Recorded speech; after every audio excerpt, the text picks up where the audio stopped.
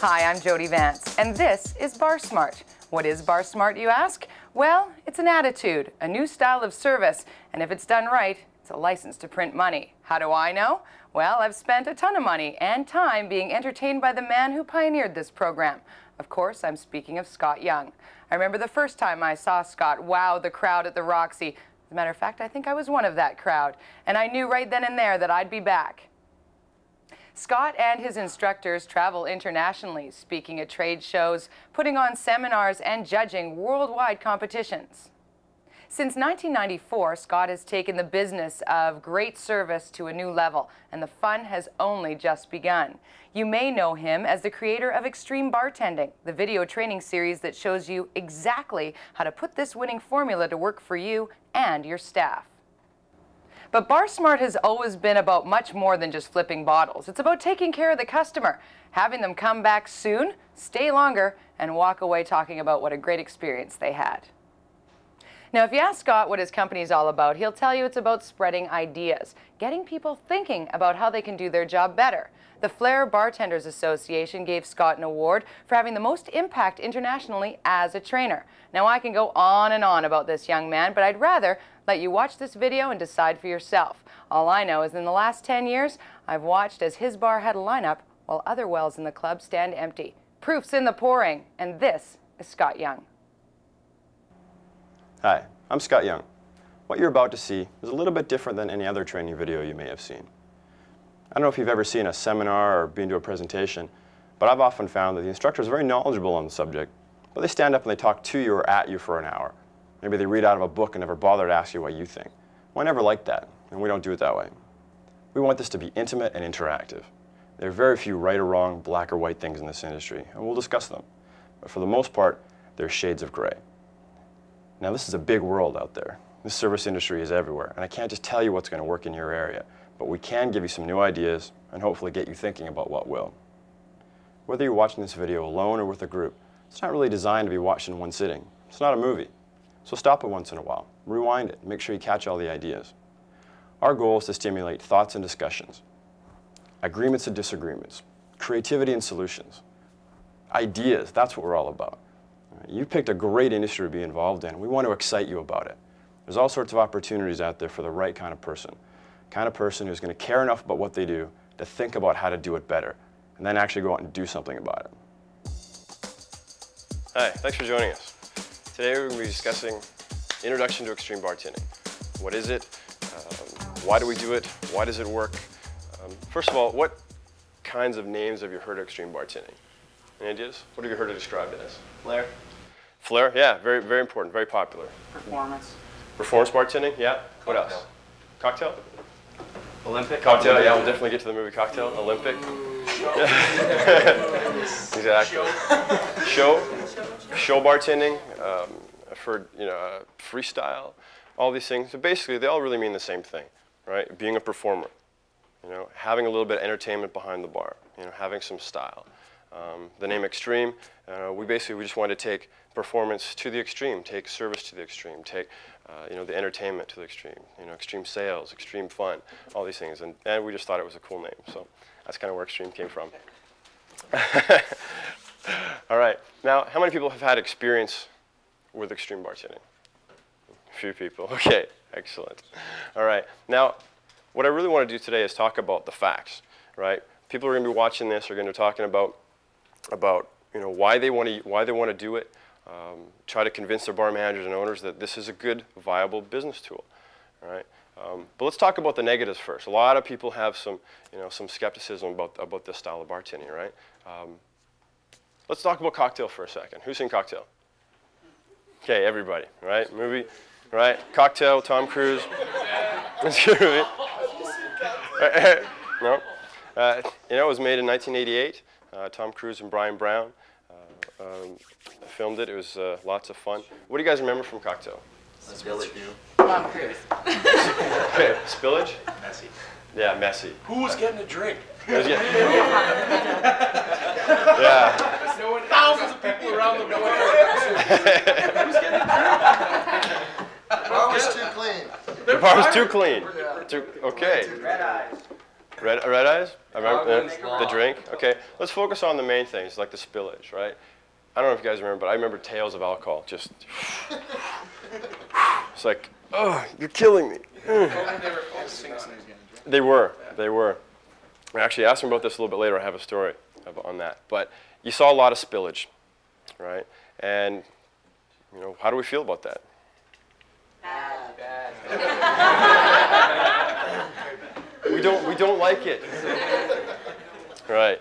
Um, this is basically there's, uh, you know, there's, there's two main myths that we're, uh, that we're fighting up against when people think about this style of bartending, and that's, that's a really big one. Um, well, you have to spill, you know, to do this kind of bartending. Well, do you? No. Absolutely not. You really don't. Um, and we'll get to that in a minute. But, you know, it was a lot of spillage, and it, it scared a lot of people away. Uh, I remember, especially for the first few years afterwards, you know, talking to anybody, especially bar manager, about, well, I want to do this kind of bartending. You know, they go, forget it, not in my bar. That's, you know, that's a gimmick. That's a, you know, that's just a movie thing. Well, you know, it, it's not the way it is. But that's the way a lot of people perceive it to be. All right. Um, what else? You guys mentioned. What was the other main thing in cocktail, and what was our main challenge about the style of bartending? Nobody was getting Nobody a drink. getting drinks. Nobody's getting a drink. Yeah, uh, obviously for the movie, they wanted to, to portray the show. Wonderful. Hey, it's entertainment, great, lots of fun. Everybody's screaming crazy, excellent. Um, but what is what is the purpose of our job as bartenders? Selling Sell booze. Get people, See, that's what I think. Is what? get people drunk. Keep him drunk. You're not helping. uh, Dougie, the devil. right, it's to serve alcohol, right? It's to sell drinks, to take care of our customers. Now, entertainment is great, you know, and this style of bartending is, you know, extremely fun, you know, for the bartender and for the patrons if it's done properly, you know, but not at the expense of your business. Uh, and I see a lot of people out there doing it, I think, for the wrong reasons. And hopefully, uh, you know, after today, you're going to understand the right reasons, so then maybe you'll be able to go about and take some proper steps. And maybe next time you present it to somebody, a bar manager, an owner, uh, or even the next customer you talk to that is really skeptical about it, you can explain to them that you know, there's, there's real reasons, there's real thinking behind what you're doing.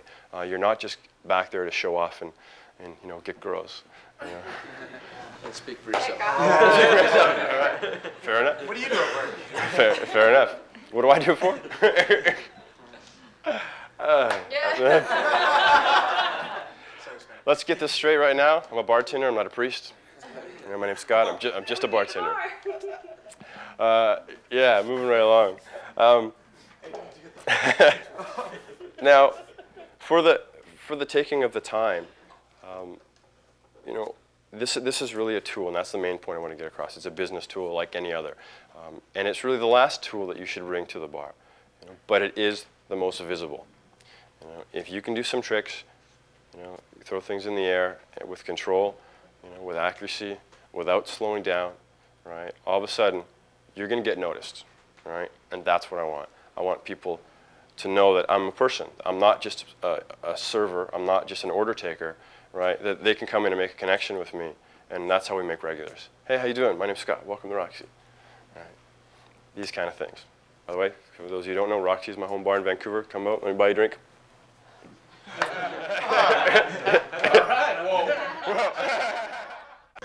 All right. Can I make a, sorry, can I make a quick point? Um, Please. I, I, I don't personally do the flipping, like I never taken a course, never tried, but at first I remember seeing it and I did, and I wasn't too crazy about it. It's neat to see, but then I look at the way, I, for me, when we implement a new procedure or a new thing, there's always an extra step you have to take.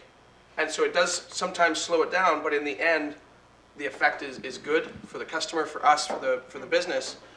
People come back and they never forget it. You know, it's like you can go down the street to one of, uh, to one of the, I think, 13 bars on Granville Street, where right near me, and they remember that they were in the Roxy. That guy, remember that bar with the flipper? You know, and that's what they remember. And for me, slow or not, that's uh, it's it's a it's a a good time lost. You know what I mean? It, it builds the business up more and brings that in, which for me is one of the steps you consider. Exactly. Is it viable for your business? Exactly. No, so what are the reasons why we want to do this? Okay, it's fun and we have a good time doing it, but that's not the point, right? Why do we want to do this style of bartending? People stay in the It's entertaining. It's entertaining, right? Because James, People stay in the bar.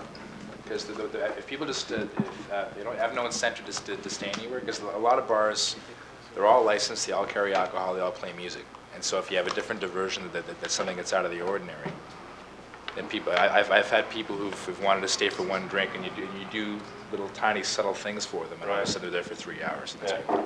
exactly. Attract them to your bar, give them reason to come in, right? And you know, convince them to stay a little bit longer.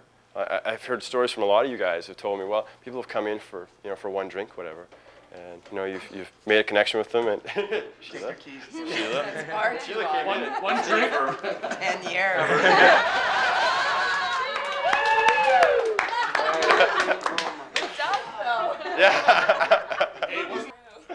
uh, but give them a reason to stay a little bit longer. And I've heard that you know quite often that Especially now with the non-smoking thing too, where you're losing your customers at the bar. You know, they usually hang around and have a smoke at the bar or whatever. You give them one drink and then they're gone. Yeah, some places in the world, for those of you guys who don't know, that um, in BC, British Columbia, um, which is a province that we live in in Canada, has just passed a law that there's be no smoking in a public place. So um, it's like that, in, I believe, in California, um, and it's you know it's it's happening. But um, so a case in point of another reason why we've got to give an you know be even better, give people reasons to come to our bars. From a management point of view, it also uh, leads towards higher profit margin items, like cocktails and shooters are way higher Totally. profit margin than selling a bud, right? Totally. And we're going to get into that. That's exactly right. If you do this properly in the way that, uh, I, I guess our, the way that we philosophize about it, um, then it gets you into selling different products. Um, and that's, that's a good thing. You know, we want us to be able to increase our sales revenue, right? Because that's the bottom line, right? We're there to make money for the bar, right? That's it. You know, fun is great, but you know, this is a business, and I've seen a lot of people out there who I think are doing it for the wrong reasons. I think that uh, I really have seen two types of bartenders who get into the style. Uh, there's the one type who hopefully will use this as a tool, right? So they will, number one, they will learn properly. Uh, you know, whether you learn from us or someone else, or, or uh, but just go slowly, right? Take it at a time. Bring in, you know, one or two tricks a week until you really have them. Like we're very serious on the control aspect of it. You know, if you don't have a trick, you know, 95, 98 percent, don't do it at work. Just don't do it. I want control. I want confidence. I want precision. You know, I want you to be able to do it with a personality, right? Um, if you do that, then you're going to have, you know, a good following. You're going to get good positive response from people. Uh, and you go, wow, that was really nice, right? right? However, uh, unfortunately, a lot of people go out the other way, and they will sort of get really excited. And excitement's great, but they will they go, yeah, that's great, but let you know, show me the you know the double, triple bottle tricks, you know, blindfolded, whatever. Well, no, there's no need for you to do that, especially in the beginning. You know, start out with the basic things. You know, with your limes and your straws, you know, and and your stainless, you know, some simple glassware or work. I mean, there's so many simple things that you can do. Um, uh, shameless plug here for our videos. Um, but our, our first video, there's 80 moves on there that are totally risk-free. And I, I honestly believe if someone only did those 80 moves, like you'd be smoking, you'd be on fire. That's the way the smart person does it, right? That's not all the way that everybody does it. Everybody gets very excited and they want to get on to the other stuff, and they forget about the smooth style stuff. I've seen some guys, uh, again, I won't mention any names, but you know, have got amazing hands, like amazing physical dexterity, but they'll standing back there when it's not really that busy, you know, and they'll just be standing and they'll be juggling empty bottles. Well, I mean, on the one hand, I could say, okay, it's somewhat of an attraction. People would look at that. Um, but I would rather that person spend time interacting with the customers. You know, talking to you, maybe, you know, doing a couple bar bets. Uh, telling a joke or a riddle. Conversation. Exactly. Exactly. You know, flipping is great, but it's the last tool that you should use, and you should only use it when you're actually making a drink. All right? So that's that sort of stuff really kills me. Has anybody had any negative experiences? Like maybe as a customer, you're going in and, and you've seen someone do this kind of stuff. It- Just what you brought up before is, you know, not, not having a drink in front of you and watching some guy flipping and stuff. But, uh, I mean, that, yeah, that, that doesn't happen that often, right? You know? Yes. From what I've seen, but, you know, I mean, in town, there's not that many of them. so- Yeah, some places. Uh, I went to a place in, uh, in Toronto, and not nowhere near you, but Uh, and I'm always like, I like to go into bars when I travel and, and watch bartenders and just see what I can learn. Uh, learn from things that I, I like what they're doing and learn from things that I don't like what they're doing. Um, just as valuable. And I'd heard there was a reputation of a, of a, of a guy and a girl, you know, who are apparently really good in the area. Went in. Actually, this was with my team a number of years ago. There was like four of us who walked in, and um, you know, didn't tell us, didn't tell them who we were. He said, uh, you know, we've heard you can sort of flip and do that sort of stuff. You know, pretty vague about it. And, uh, I went to the girl first, and she goes, yeah, I, will make you a Long Island. I think I could drop a lot of stuff with that. Okay, right? And you know, we think she's kidding, right? Being a funny bartender, no problem, great. Well, she makes a Long Island. Uh, it wasn't a mix, so she picked up. Uh, actually, she made four four liquors and and the lemon juice and the coke. And so out of five bottles, because she had the, the juice in the bottle, um, I think she dropped four of them. Uh, and luckily, there was a really really thick mat, rubber mat, so nothing broke. But That's why it's there. that's, oh, wow, wow. Uh, she probably, in this one, she probably spilled like 11, 12 ounces. Just, and I was like, just going like this. And um, like, like literally, and I won't exaggerate, I was sitting at the bar going, I was like, you know, and trying to, you know, to not throw up, basically. um, it, it was astounding. And when we finally got the drink, there must have been four ounces, five ounces in there at least. And, you know, a single drop was like, whoa. And of course, charging me for that. So how much did that cost the bar? Well, I mean, prices of liquor vary around the world. Fine. Um, but first of all, looks, it looks sloppy, right? And I go, I just don't have the respect for that kind of a person. It doesn't look like they know what they're doing. So right away, I have less respect for that bartender, you know, which is not the impression that I want to have, right? Number two, they were getting me wet you know, which is just not a good thing. I mean, you had lemon, lemon juice, and I mean, what had it been cranberry juice on a white shirt? I mean, you know, all sorts of problems can arise from this. Uh, on top of which, uh, you know, the, the cost of what, of what they were spilling, you know, the bar manager and the owner couldn't have liked that. Um, and what about all the breakage? Well, she didn't happen to break anything because there's a lot of mats, but, you know, she keeps doing that, and, and a lot of things are going to get broken. It's just, ugh. Figures. The only real uh, negative experiences I've ever had are people with just attitudes Same, that do it. gonna say. Good, good. Rare- Can you very expand on that, please?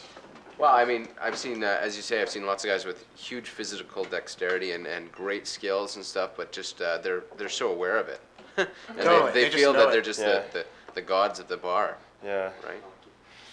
How, how does that react? How do you react to that as a customer?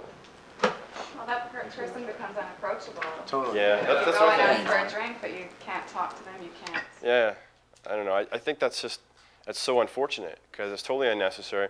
I think there's enough attitude in bartenders. You know, we're supposed to be confident, and that's great. But there's a difference between confidence and arrogance, right? And being approachable is really our, our main goal, right? Because we have to have people come up to our bar to be able to do our business. So if I'm giving out an attitude that you know I'm God's gift to bartending, and you know it's you know it's your privilege to be served by me because wow I'm this person.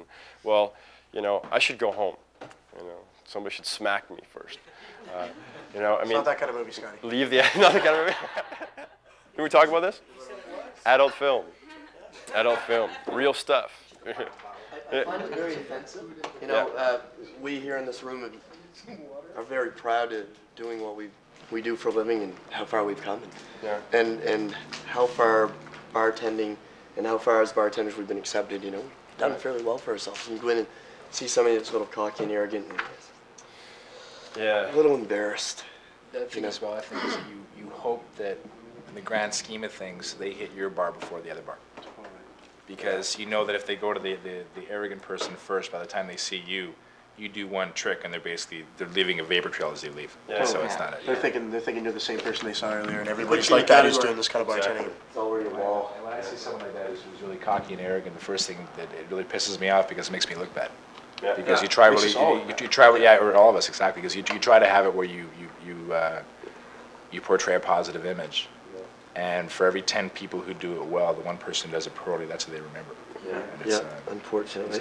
It's, It also makes some customers feel uncomfortable. I mean, it, they get dragged into it all of a sudden. They're the reason why the lineup behind them is just growing. Yeah. yeah. yeah. They're sitting there going, I I just ordered this, I didn't tell him to do anything, and he's just taking his time. I think that um, if you incorporate it, you can be a lot more efficient. Um, like, for instance, I work at a heavy martini bar, and I can flip shake a martini way faster than it would take me to, you know, Yeah. give it three or four of these. If I Yeah. could just, you know, flip it a couple times and crack it, it's done. Yeah. Anything that you can incorporate that makes it more uh, more efficient and faster to make the drink is better, right? Totally.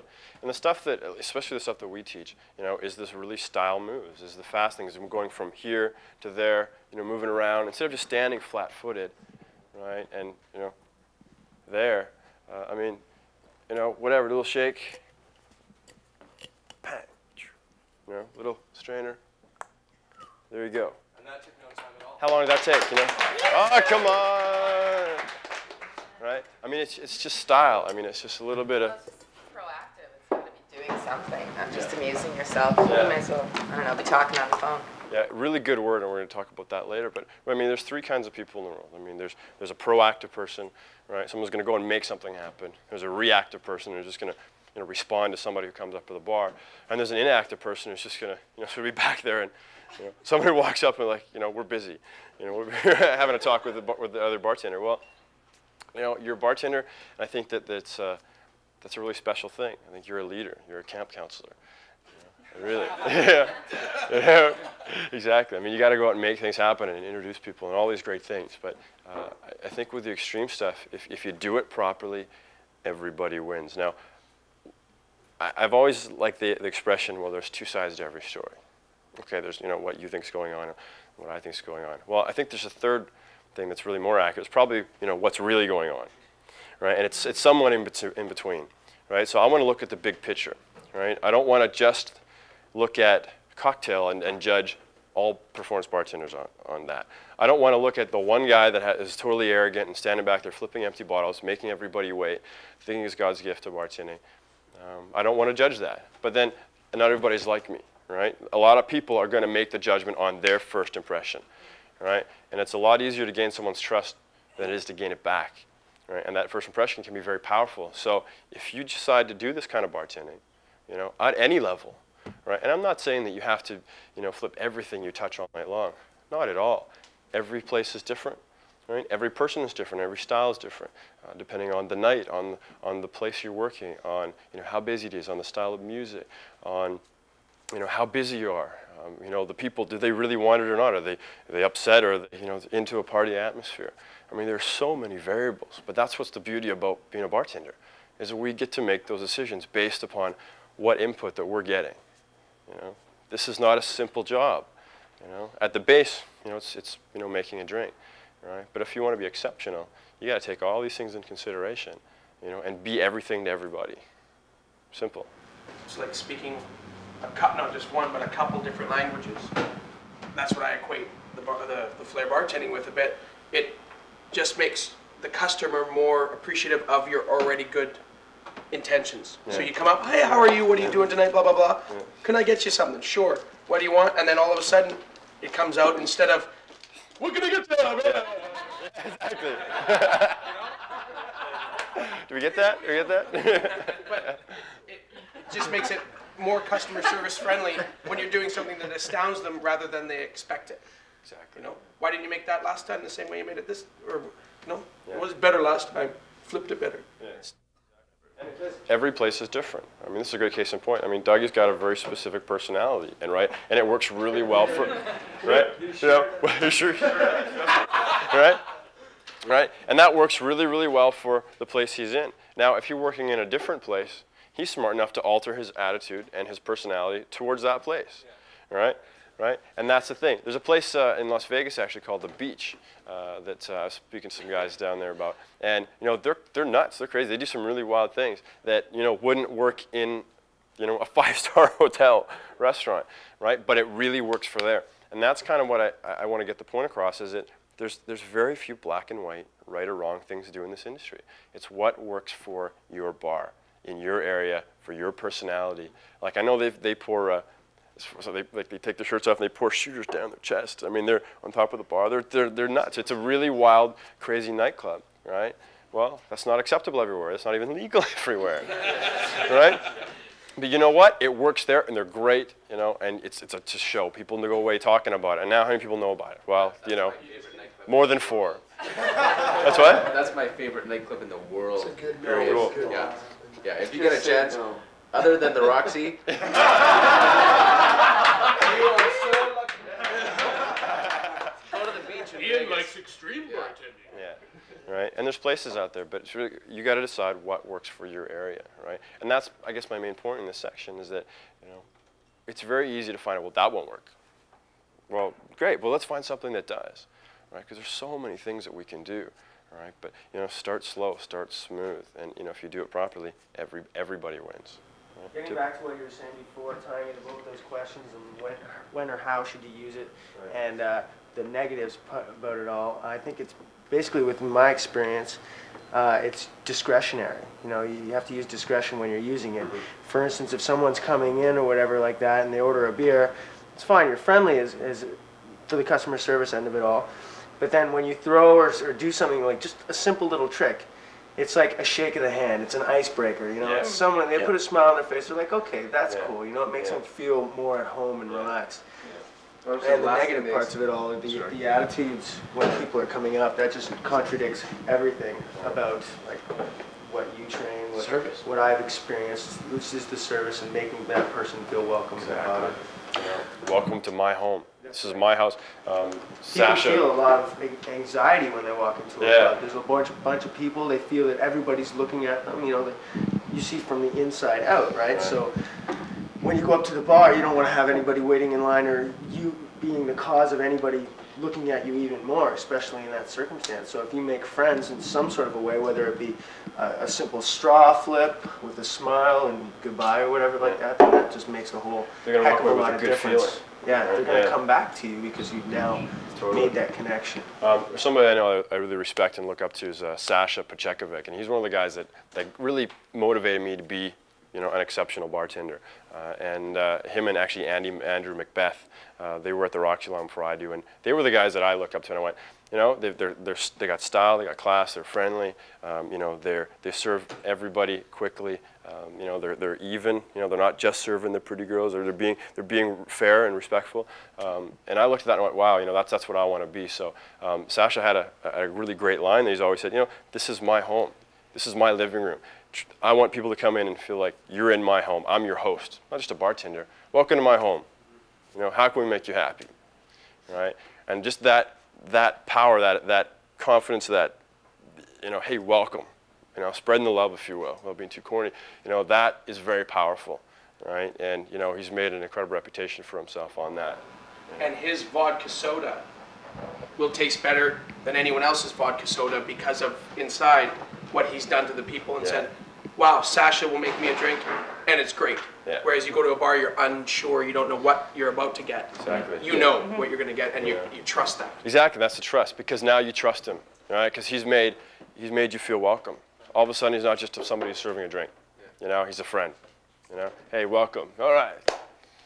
The last thing in the world that people expect because of the service that you generally see in this industry is a three-dimensional bartender. Yeah. Someone that can do more than one thing. And Very so- rare.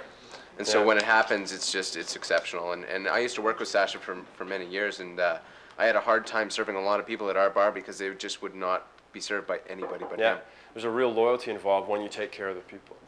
You know, that's really well deserved. I tell a lot of people about Chris because Chris is not a guy who flips a lot of things. A couple things here and there, very, very minor, right? But he's one of the best bartenders that I've ever seen, right? I see a lot of bartenders. Eh, we're talking about you, not to you. Eh, eh, eh, eh. Right? Point is, he's got such a, a warm personality, you know, that, that he makes everybody feel welcome, that all of a sudden you're important to him as a customer. And You you know? know what? And I just moved to the city, and when I first went to the Roxy, you totally made me feel welcome. Like you just, I felt like I I was a regular there. It was the first time I was there. I had the best time, and I truly contribute that to you. Oh yeah, you sure you do. Yeah, no, you kissed me actually. Now, one point I want to make, if, if you're going to do this, um, I think there's some ways that we can um, make it easier for you to integrate this style of bartending into your bar, right? Any, any ideas? What are some of, yes? Setting your bar up properly, Exactly. making it ready so you can walk in there, you know, have things where you can, you know, be faster, and know where everything is. Exactly, right? So know where everything is, definitely. Now, for the, specifically for the flipping stuff, um, one thing that I really recommend doing is using juice, you know, flipping your juice. Um, we're really big on against fl- about, about spilling alcohol, and really until you're really, really good, there's no real reason to flip alcohol. Um, I think one thing that, that I recommend is that if you put your juice in bottles. Now, a lot of people have juice in the guns, right? Or those big plastic storm pours, right? Well, okay, why not save some of your, of your liquor bottles, you know, soak them overnight, take the labels off, put the juice in the bottles. Now, there's some places out there in the world that I know that this is not, you know, completely legal. On the other hand, it's not that big a deal in other places. So you can get away with a lot of things. Um, but a lot of places it's totally acceptable. And this really minimizes your risk. It's something that, that I highly recommend you doing. Um, all of a sudden, you've got you know, all your juices to be able to, to play with is much less risk. I mean, what's the difference between a bottle of, you know, a juice and a bottle of rye? A lot of money. You know, 30, 40 bucks, depending on where you are in the world. Yeah, it's some dollars, right? Buy an expensive juice, man. Yeah, exactly. Also, it's slower, I think it's uh, quicker with this, with the good speed spouts. It's Yeah. quicker than Yeah. the gun and it doesn't make the noise, Yeah. dishwasher noise. Well, there's nothing worse than having juice coming out of a gun. Yeah, You know, I mean, that's totally. kind of, a you know. Yeah. what do you want, cranberry or orange juice? all- and all out of the same- I got it all here, and it all comes out of one gun. Wow. Yeah, You just Yeah. grab it with your fist and you press all the buttons at once. Yeah. I push buttons. That was good. That was good. Anything, anything that you're going to do, though, I mean, you're, you're having, you know, you're doing something rather than just pressing a button, right? And I think it's, it's just more entertaining to watch, right? Um, Chris mentioned the spouts, right? And there's all sorts of different options on there. Um, what I like using for the, uh, really for, uh, for juice especially, is this is the straight speed metal pours, right? It comes up very fast, right? And uh, I don't know, it's just such a, a, a, a way of opening up your options. There's so many things to do. Um, also, um, if you have those in your in, uh, in bottles, your juice in bottles, you're able to now suggest what? What do you really want to be selling? Cocktails. Cocktails, exactly. Why do you want to be selling cocktails rather than just a highball? More money, right? You know, your average check goes up a little bit, right? You're making a higher profit margin on. Other than cocktails, though, what else do we want to be making? Juice shooters. Juice shooters, exactly, right? Juice shooters, right? Now, shooters are actually a lot of you guys don't know, but it's a Canadian invention, right? More, yes, it's kind of nice. More than just like a shot of Jack or, or, or a shot of shot of tequila, right? Um, adding a number of different liqueurs, right, with juices, you know, again, shake them up, right? It's great. You know, a lot. We want to play with this. A lot of great tricks you can do with this, totally safe, right? No There's risk. also, also nothing wrong with tequila. Premium you can charge them huge, and it just takes a couple seconds. A- Especially if you're pouring a lot of them at once. Absolutely. You know, but with tequila, you can also mix other things with, uh, like with cranberry juice. Is it a cherry bomb? I know, is one name for it. Um, tequila cherry, you know, shaken. It's a little bit, a little bit, a little bit colder. Um, but one thing with these, with juices and with different liqueurs, is you have different tastes, right? Um, I think that there's been really two types of drinks that have been successful historically, drinks or shooters. One is the, the harsh, you know, Scotch, martini, uh, something that's pure alcohol, right? Sort of the old school. Bottle of 151. glass. Exactly. You know, rye coke in a bud, boy. right? So, you know, right? Then there's the other ha- other side that you know really tastes nice, sort of like the, the lighter drinks, the you know, foo-foo, girly, right? Exactly, right? Right? The lighter ones. Well, do only girls drink those? No, of course not. Right? You know, it gives you different tastes, and I think that opens up a lot of options for you, which is nice. So we really like to get into diff- to different colors. I also think that with juice shooters, the value for their money for the customers, because it comes in a larger shot glass, uh, Absolutely. more valuable than, yeah. Absolutely. The difference between a, like a single shot and a double shot is what? A shot. Juice. Perceived value. I want the big one. I want the big one. So noted. Right? I want the big one. I want the you know the more value. Well, they're not getting any more liquor, right? But people don't really connect with that. They're like, oh great. They're gonna feel like they're getting more for their money, right? Brian, did you have a comment? Also find out if you uh, you try that type of shooter. Yeah. Uh, get them like that one. Well, what else you got? Pick a color, any color. Exactly. You get them uh, trying and experimenting different things, and it's like creating a better experience. Yeah. them. And they do always ask for something new. Like they always are Yeah. asking you, what, well, what can we get? Well, make me something, because Yeah. I hate deciding what Yeah. I'm gonna drink. Yeah. I've had this, I've had this, I've had this, I want something else. But Yeah. nobody, nobody walks in, sits in, sits in your section or walks up to your bar and says, make me something neat. They have to know you first. Do you know what I mean? Yes, Yeah. that's They true. have to- Yeah, have you're to totally right. the No, choice. absolutely. necessarily. Very Not good. necessarily. I get that tons at I- Balu. We get that tons. But Yeah. you know Get the- What kind of martinis do you have? What kind of fruits do you like? Do you Right. want something strong? Do you want Yeah. something with Right. juice? Do you want make me something. What's your favorite fruit? I get what taste do you like? What do you eat? Do you like eat apples? Do you like berries? Berries. Cool. Well, there you go. You make Right. a berry martini. But the reason they do that is because of the pres presentation that you're giving. For Yeah. example, like going to a bar to you, I know you're gonna make me a good drink. I know that you know more drinks than I know. And that, because if you can do all this, well, then you sure can make me a cocktail that I'm gonna like. Yeah. Yeah. They don't understand what their options are, right? So they're coming to us because we're supposed to be, you know, the mixologist. We're supposed to have some knowledge and be able to suggest them and guide them into some, some different tastes, different experiences, right? We're supposed to be the all-knowing bartender, right? Well, offer, offer them that, right? And next, you know, getting to what Jerry was saying, do you want to recap that just briefly? Um, what point? well, when, if they're not sure, right? yeah, you he- qualify them. Yeah, basically, what I like to do is I start by saying, "Great, um, you know, would you like a, you know, a cocktail, a shooter, a beer?" Right, right away, because I don't want to wait until, you know, they've made up their mind, right? I'm going to guide them into a certain decision. They're going to say, "Well, I'm like a cocktail. Great. Would you like it sweet, creamy, refreshing, harsh? What kind of taste do you like?" Harsh. Harsh. Well, then you've got options, right? Creamy. Yeah. The other cool thing about that too is after you've presented it to them, they taste and they like it or dislike it or whatever, they say, well, if I want another one of these, what's it called? I don't know. Yeah. Name it. Yeah. Okay, what do I do if I want another one? Well, you gotta come see me. Yeah. You got a Nice. customer in your bar coming back to see you because Nice. you made them a special drink and they're giving it to their friends. And they're, like, oh, this is my drink. You know, Exactly. You know? right? But this all comes back to it helps us do more of the of the performance bartending because we're using juices, right? We're getting into tastes and colors, but at the same time we're interacting, right? We're obviously making a connection. I feel that when you offer them a whole wide variety of, uh, of drinks or premiums or whatever like that, you're also showing a lot of professionalism, knowledge of you know your drinks or whatever like that. Like a waitress going up to a table and knowing the specials and all the whole menu and being able to romance it to them or whatever. People like options and they like to, you know, they don't want their their intelligence insulted. So you give them options, they feel okay, cool, all You're in control. They feel in control, and then they pick it, and it's all a win-win. But you have to give them a real option rather than what kind of beers you have. We have Bud, Coors Light, Right. Genuine, and whatever. These are all really good topics we're going to go over more. Let's just finish up on the extreme bartending about like, these are all reasons about what's going to make it easier for you to do this kind of bartending.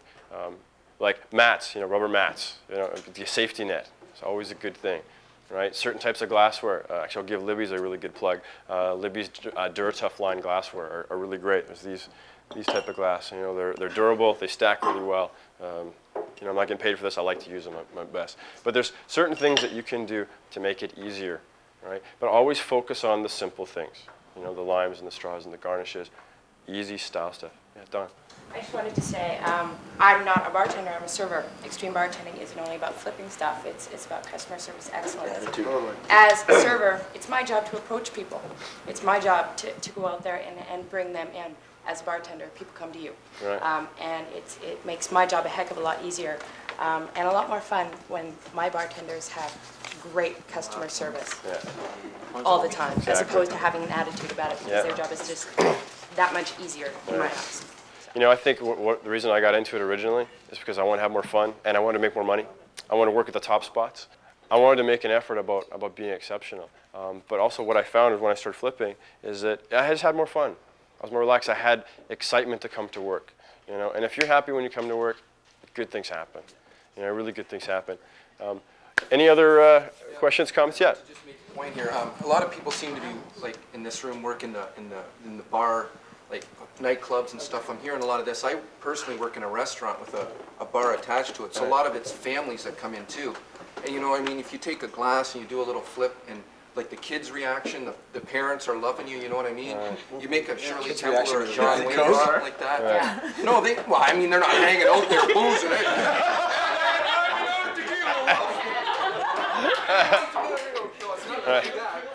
Some of them wait an hour and a half, you know what I mean? So if I'm doing something a little special to, you know what I mean, they come back, they really do, you know, so. Totally. It's a beautiful thing. I think it, it comes down to if it's if your focus is presentation of the drink, the taste of the drink, and the customer, you, you can't you can't be wrong. You can't be in the wrong.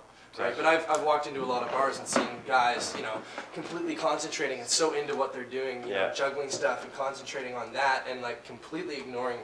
Totally. themselves right? too seriously. It's just Oh, like yeah, setting up totally. a wall right in front of you, right? Yeah. It's like, Yeah, It's and hopefully in we a never corner do and that. go. You know, no matter what, you got to be It's approachable. constantly doing that new trick.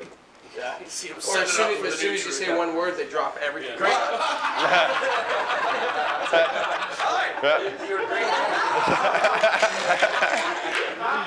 Exactly. All right, one question. Is there any advice, is there any advice that you would have for someone who's just getting into the style of bartending about what to do, what not to do, or how to present it to the bar manager to let them be able to do it? It's all attitude. It's- it's- yeah. Most of the time, whenever I'm doing anything, anything I've ever done with extreme bartending, most of the 90% of the positive reactions that have, that have come after weren't like, oh, that was the coolest move. It was like, you, like the vibe you lay down is extremely positive. It's happy, and that's what people remember. Nice. And just remember, you know, just smile, say thank you. You know, be good to people, they'll be good to you. Remember, you gotta do everything, your, your, your customer service, your sales, your everything sort of thing. You, you gotta interact with the people, I mean. So don't forget, just because you're flipping- You're not just gonna get behind a bar and just, you know, know, know all your drinks. You have to be personable with the people, you have to get, it's, it's part of the job. It's a big part, huge. Always think of the customer too, like, without them, you're nothing. You're Exactly. looking for a job. Yeah. It's our privilege Everything you do has to be for the customer and about the customer. How many choices do they have? They've chosen, I mean, at the Roxy, I we keep going back to this, but, um, you know, when I'm in town, I work there, you know, a couple nights a week, and, um, I mean, it's lined up seven nights a week. I mean, it's a great spot, and there's a lot of reasons for that, you know, but I think that mainly when they wait in line for an hour, two hours, three hours, four hours sometimes is not, is not unusual. You know, maybe it's cold or wet or whatever. They get in, and the place is packed, and then they still have to wait at, at my bar or someone else's bar. You know, well, boy, I better be the best bartender they've ever seen. You know, because they deserve it. The other right? thing is too, right? Um, like minimum wage in, in BC is like what 750, 725, like that. Which is like 10 On a, a martini, a premium martini at our bar costs 725. You just waited, you know, two hours to get in line. Ten minutes in, in line, you get up and you're spending one hour Yeah. of your of your work week And you paid your on cover. a drink, on Right. two ounces of alcohol. It better be good. Yeah, exactly. right? And you better make them feel welcome, right? Tricks are great, but you know what? It's just a tool. It's a You- you business asked tool. What would you say to someone getting into it, or why? Yeah. Do it. Do it for the fun and the and the energy that you create for yourself. Make it something that you're doing for you, not for them. Right. And don't rely on it. Don't make it your only skill. Don't make Good. it the reason you're bartending. Because I wanted to flip bottles, and Exactly. it's not good. Exactly. I'll tell you, when I go into- When I go into a place now, I, I, I don't ask. You know, I don't ask if I can do this when I go into a new bar. Um, I just do it, and and my you know my performance and and uh, and my attitude I think speaks for itself now, and and nobody's ever asked me to stop doing it because I don't do it negatively. Right. But also, why? Because how often do you drop? How often do you spill? Drop and I don't spill. You know, in general, sure, you know, occasionally. Everyone makes mistakes, right? We're not saying that doesn't happen. However, you know, someone like Ian has got, you know, the intelligence to go and be controlled. So whatever he does, I mean, he's smooth, and it's he brings it's a part of his bartending. It's not, hey, look at me, I'm really cool, right? It's like, you know, when you ever learn to dance or anything, you've seen those like those those feet prints on the one, two, three. Well, you know, you get to a point where it's just smooth. You know, you're, you're smooth, right? It becomes part of you. If you take the time to actually to, to get the basics first and uh, get to the point where you're good and and you know you can speak to people while you're doing it and and all that stuff that goes along with it and you're like a full rounded bartender a three-dimensional bartender you don't have to ask anymore you just walk in and do it and your Yeah. manager will love you for it Yeah. Learn it as a science. Yeah. What's the what's the best reaction from a particular trick? Or what, what's the, the main trick that you get the best reaction from? Lemon or lime. Same here. You know, I mean, you know, would you, would you like a lime with that? Yes. Squeeze it. You know, rim it. You know, there you go. Like that one little trick makes me more reactions. Like, wow, that lime thing. I mean, it's You it's get better unbelievable. Reactions out of the one where you Off the wall. pretend to throw it up. Yeah. Oh, yeah, that's what I thought you were You gonna get better reactions out of I watch, that. I watch you do that, and I see you throw it, and then I see you, and you'll do it, and they'll go, uh. and he's already put it in the glass. they look down, and those people watched that line go through the air, and it never did. and they're looking, oh, it's way up. Somewhere. I know the same was. Because our bar's. eyebrow raise, raise at the end.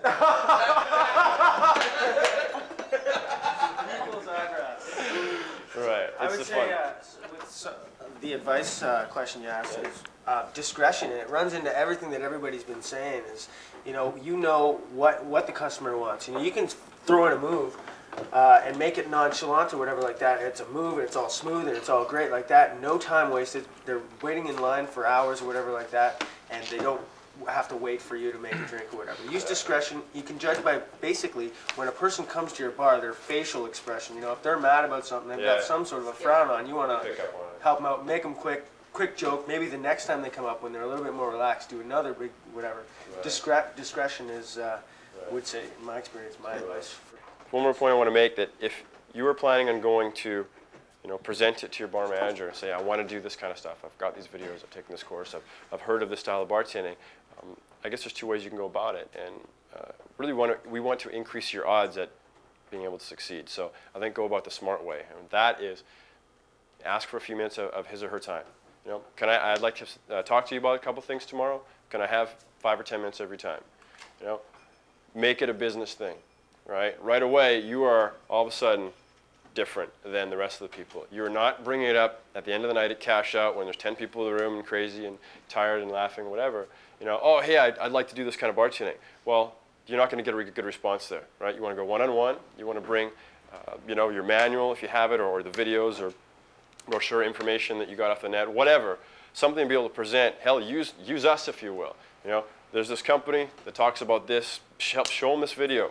Uh, you know, make them understand that it's a business tool, right? This is what I want to do. This is how I want to do it, right? And this is why I want to do it. I'm not doing it just because I want to be a, a Yahoo.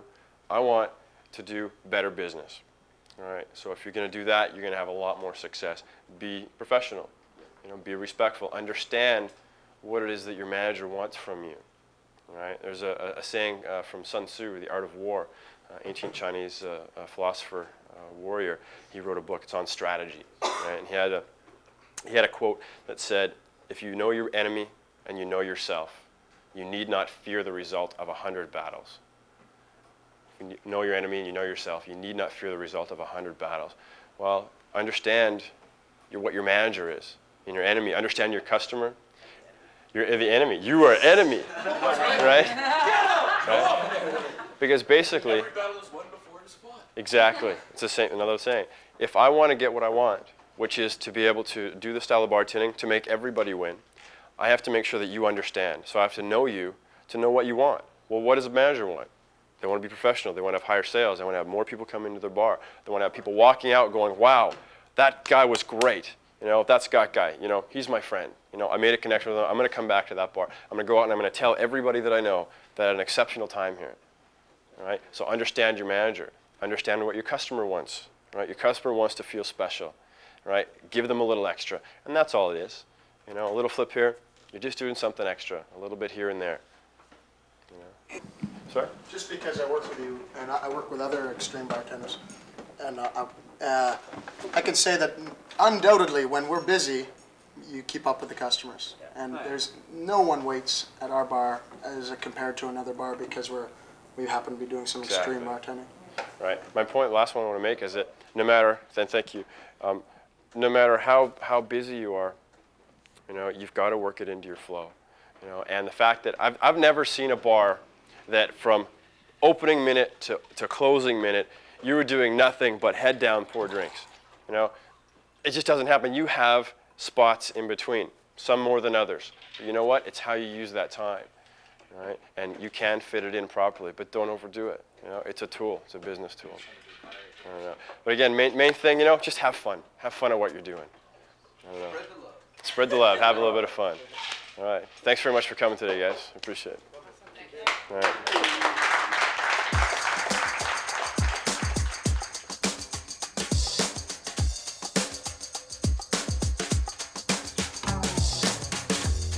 What would you say to a bar manager or owner who is a little skeptical of this style of bartending? Actually, I was in that exact situation when I first took my uh, $450 fine art bartending course through uh, actually a really good buddy of mine now.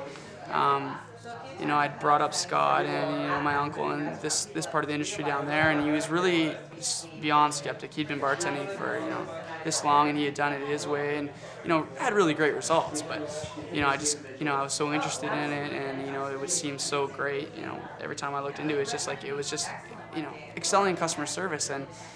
Well, um, during the course, I asked if I could bring in Scott's videos because I got them as a gift through my uncle, and uh, we watched some with some of the, the people that were in my course too. And then, uh, then my instructor came up to me and actually asked to take them home, and I said, "Yeah, sure, man. You give them a give them a checkout, and tell me what you think." And before the course ended, it was only like two and a half weeks long. Before it actually ended, he uh, he had me contacting Scott to say, "This is amazing stuff." and I was, you know, I was so close-minded about it before, and you know, he just had never really done his research or anything, or you know, given the time of day. I would, eh, you know, I'd probably give him video one of the BarSmart series because it's totally 80 moves, totally risk-free. Uh, no managers need not worry. And after explaining to him, I'd, I'd, give him the video to take home and say, you know, see for yourself the kind of things I want to do. And you know, anybody with half a half a brain that sees that could realize that you know it's only only for good. And there's nothing, there's no risk, virtually risk-free.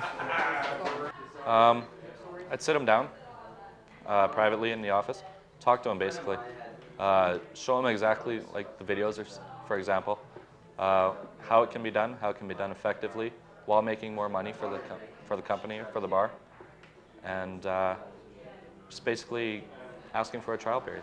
Let them show exactly what it's all about.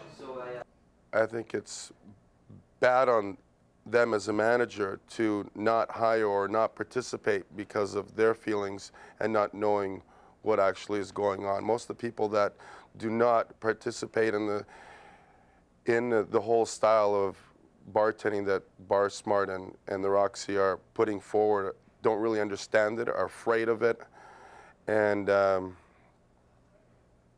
and just leery of it. They just have one opinion and they don't want to participate because of, of their own beliefs and that just makes us stronger. So either they can help themselves or they can help me, and that's that's fine. They are the people that make the money here. They are the people, the reason that people come back. They see the show, whether they flip or not. It's the customer service side, which is what this whole thing is about. The, the flipping is secondary, has always been said. It is the customer service you give first, and the show you put on after is exceptional. Oh my God, they're that great and they do this as well. That's what I would say to a bar manager that's skeptical about it. Mm, I try and speak through my actions. I try and show them numbers at the end of the night. And, uh, you know, I have a lot of fun behind a bar, and that speaks for itself. And, and I'm very inclusive, and I try and make sure everyone else is having a lot of fun. And uh, honestly, I just try not to take myself too seriously. Um, you know, I think we, we've seen it in these videos before, is that uh, if, if, if I make fun of myself, if I have a, if I'm clowning around myself, um, you know, if people are laughing and having fun, I win. You know, it doesn't matter whether they're laughing with me, at me, doesn't matter. And, uh, you know, I just try and use it as a tool, and I try and integrate it and, and, and have some fun with it. And there's lots of stuff that we do that has, has nothing to do with absolutely going ballistic with a bottle. Right. It's just smooth and, and, uh, and inclusive, so that's what I try and do. And, and I've, you know, doing that, I've never run into a problem. Yeah, yeah, just no. You know, if I'm not spilling your profit, and if uh, if I'm not breaking a ton of stuff, um, and I'm smooth and I can serve as much as the next guy, nobody's ever had a problem with me doing that. Yeah, so I've walked into lots of bars that have just asked me to cover a shift or two, and and I have no problems. Your uh, best bar joke or riddle? Who needs a riddle when you look like this? and we're done. Moving right on. That pretty much wraps it up. Hope you enjoyed the video as much as we enjoyed making it. Be sure to check out our website. We've got lots of new stuff going up all the time. And if you like what we do, tell your friends about us. We'd really appreciate it. Also, make sure you check out the ads at the end of the video. These are some great companies and they can really help you if you give them a chance. So call them and find out for yourself. I'd like to leave you with three of my favorite quotes and a few thoughts. Abraham Lincoln said, I don't think much about a man who doesn't know more tomorrow than he did today. Michael Jordan said, I can accept failure. Everybody fails sometimes, but I can't accept not trying. And Wayne Gretzky said, I miss 100% of the shots that I don't take. So bottom line, care enough about what you do to think about how to do it better. And be proactive. Go out there and make something happen in your life. But above all, enjoy your life, because you never know how long you've got. Who wants to play golf?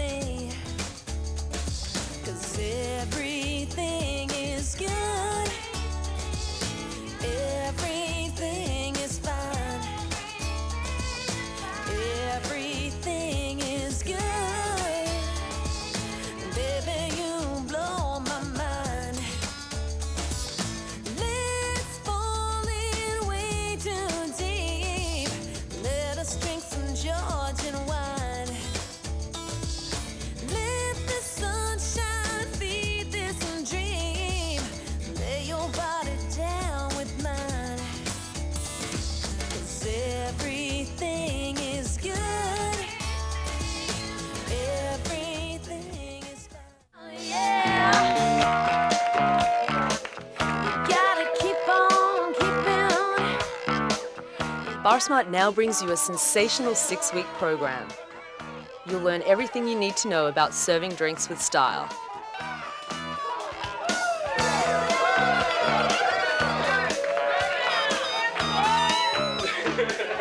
With step by step and slow motion instruction, you'll learn easily, quickly, and properly so you won't spoil the profits or break everything in sight. This is a business, and great bartenders do more than just take orders. So create excitement and increase your sales revenue with the Extreme Bartending Video Training Series. Our three videos with over 240 moves in all is a must for bartenders everywhere. No matter what level of bartender you are now, if you follow our program, you'll increase your odds for success because you'll make an impact on every customer you ever serve. Think about it.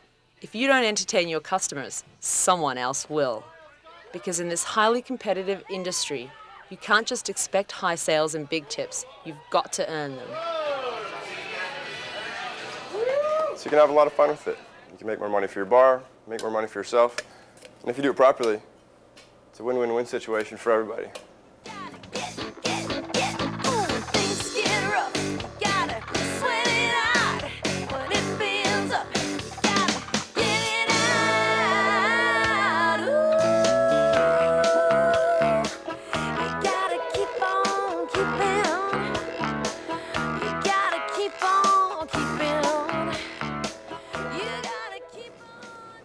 Spark to people's lives. I think the world's starving for entertainment.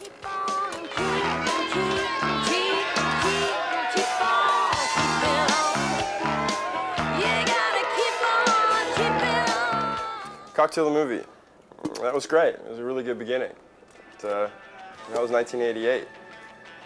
Hopefully by now we've taken it further. Look out!